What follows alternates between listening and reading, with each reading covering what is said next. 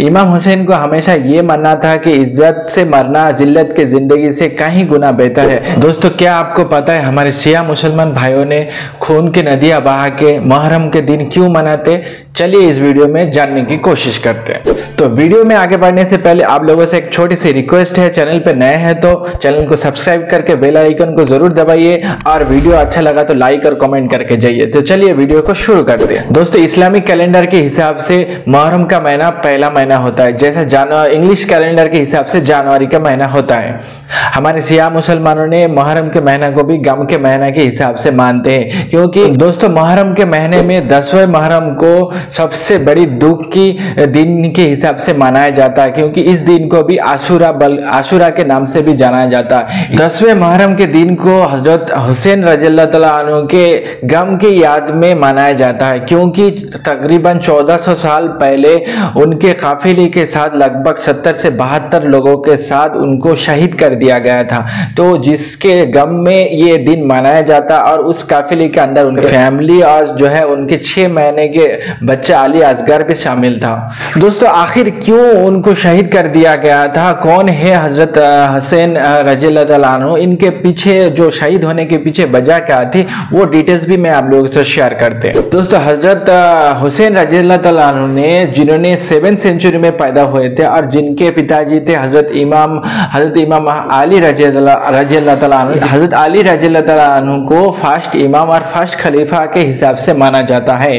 तो हमारे अका हज़रत मोहम्मद सल्लल्लाहु अलैहि वसल्लम के वफात के बाद, लगभग 50 साल के बाद मुसलमान के ऊपर बहुत सारे जुल्म और बहुत सारे टॉर्चर होने लगा था, जिसके वास्ते मुसलमान पूरे दुनिया में परेशान हो गए थे। तो दोस्तों तो दोस्तों, उस वक्त जो है खलीफत खलीफत की हुकूमत चलता था और उस वक्त जो है सीरिया के अंदर एक जालिम बादशाह जो जिनके नाम याजिद के नाम से जाना जाता, उनका हुकूमत चलता था। और उन्होंने मुसलमानों के ऊपर कब्जा करने के लिए अपने आप को खिलाफत यानी खलीफा मानने लग गया और पूरा मुसलमान से लेके पूरे कौम के ऊपर जो है जालिम जालिम बादशाह के हिसाब से हुकूमत करने लगे और बहुत टॉर्चर करने लगे, जिसकी हुकूमत से परेशान होकर उनके जुल्म के ऊपर से परेशान होकर कोफा शहर के लोगों ने आके हज़रत हुसैन रज़ी से आके मदद की गुहार लगाए थे कि हमें मदद किया जाए और हमें बचाया जाए।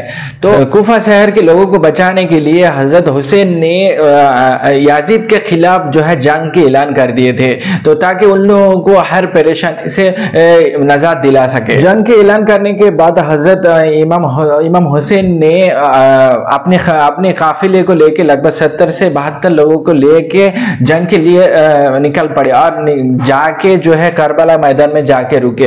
तो वहाँ पे रुकने के बाद गर्मी की वजह से और भूख की वजह से बहुत ही मुश्किल हालात से गुजार रहे थे दिन। उफ्रेक्स नाम के एक नदी याजिद के हुकूमत के एरिया से करबला की इस तरफ़ आता था उस टाइम पे। तो वो उस नदी के पानी को भी जो है बंद कर दिया दिया गया था ताकि इन लोगों को और मुश्किल का सामना करना पड़े। ए, उस जंग करबला की जंग से पहले याजिद ने ऐलान कर दिए थे।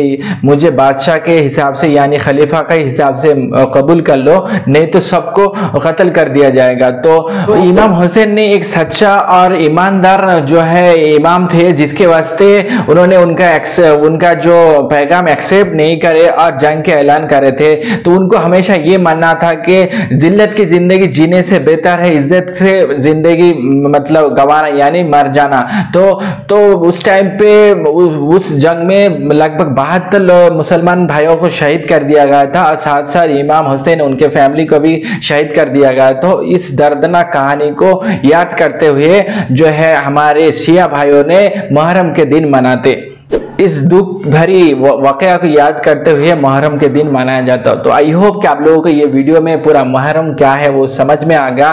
क्यों शिया क्यों शिया भाइयों ने इतना खून की नदियाँ बहा के जो है मुहर्रम के दिन याद करते, वो आई होप कि आप लोगों को समझ में आ गया। तो वीडियो अच्छा लगा तो लाइक करिए, चैनल पर नया है तो सब्सक्राइब करिए और कॉमेंट करके बताइए इस वीडियो कैसे लगा। तो चलिए मिलते हैं फिर नेक्स्ट ब्लॉग में, तब तक के लिए अपना ख्याल रखिए। अल्लाह हाफिज़।